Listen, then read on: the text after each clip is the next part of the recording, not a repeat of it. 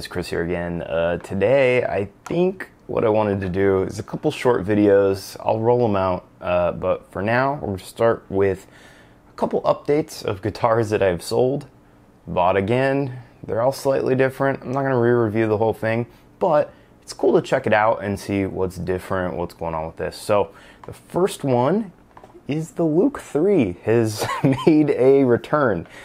I really liked the Luke 3.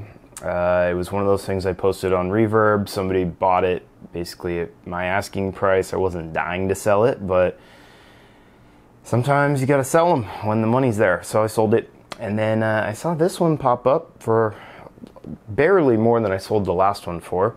And this is the Luke 3 BFR. This is the limited edition. It's got the Steve Lukather signature on it. This one's number 84 out of 300. Although I think you can order this finish on a current BFR, so I think the limited part is his signature, basically.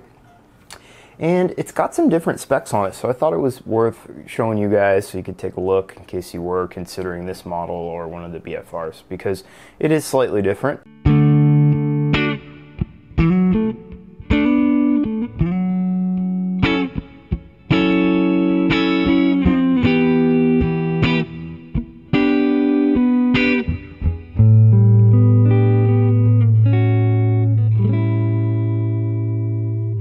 Main thing that kind of bummed me out on this guitar is the Luke 3 had some of the coolest neckwood I've ever seen.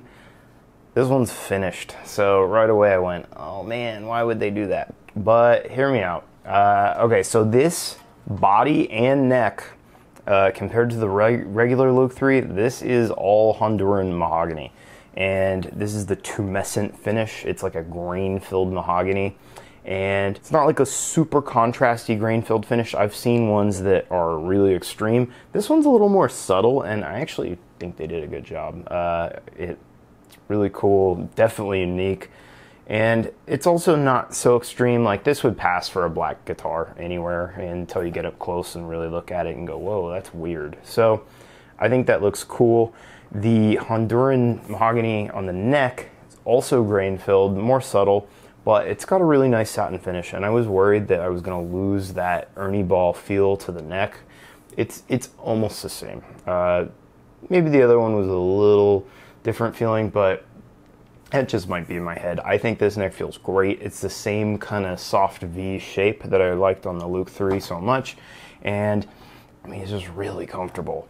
They've also added binding, which um, binding can go either way. Sometimes I feel like you lose the rolled edge feel when you have binding, and this one not so much. It's it's fine, and I think it was needed on this guitar. Otherwise, this would just be 100% black. So I think that was a good choice.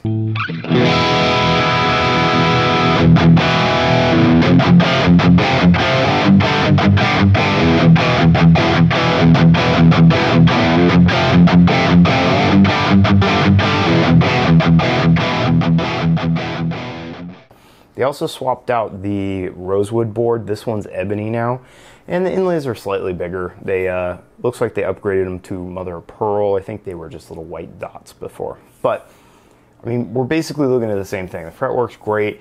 Uh, it's just all black. There's really not much difference other than visually feels a little heavier. I think it is. Maybe it's just it's 100% mahogany, and the pickups are a little different in this one as well. Uh, my last one was hum single single. This one's hum hum. I really liked those pickups. The DiMarzio transition pickups, those are Steve Lukather's like signature pickups. Those were the best sounding DiMarzio pickups I've ever heard. I'm not a huge DiMarzio fan, and those sounded really good. They were super versatile. They they were just all around great pickups, I thought. So I was a little hesitant to get a HH version because I really, I knew I liked the HSS one.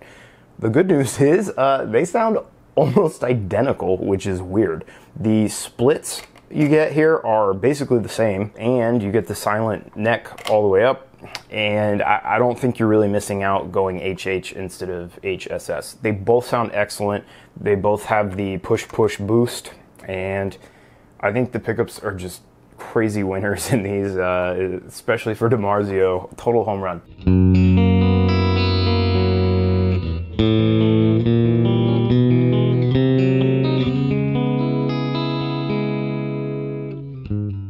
This guitar just, it, it still has that Music Man feel, which is the—the neck is small, it feels narrow, it's extremely fast, good action, it sounds great. I don't think you can really go wrong. So I mean, there's really not much. I, I've gone over basically all the details of some of the hardware and how the switching works and stuff like that in my Luke 3 review. So if you're really interested in the details, go check that one out because it's basically the same exact guitar. Um, but I just wanted to give you a little update on what makes this one different and if it's worth going for if you're split on which one to get. I would say totally cool. Uh, if the finish is for you, that's going to be personal preference. I think it looks great, and also it's nice to get. This is a different new finish for me, anyways. Uh, kind of sick of plain colors, kind of sick of wacky quilts. So here's something new, and I thought it looked great. So that's it, just super quick. Uh, I thought it was awesome. Check one out. I'll have a couple sound clips. You can make up your own mind about the DiMarzio transition pickups, but I think they sound great. And I guess that'll do it.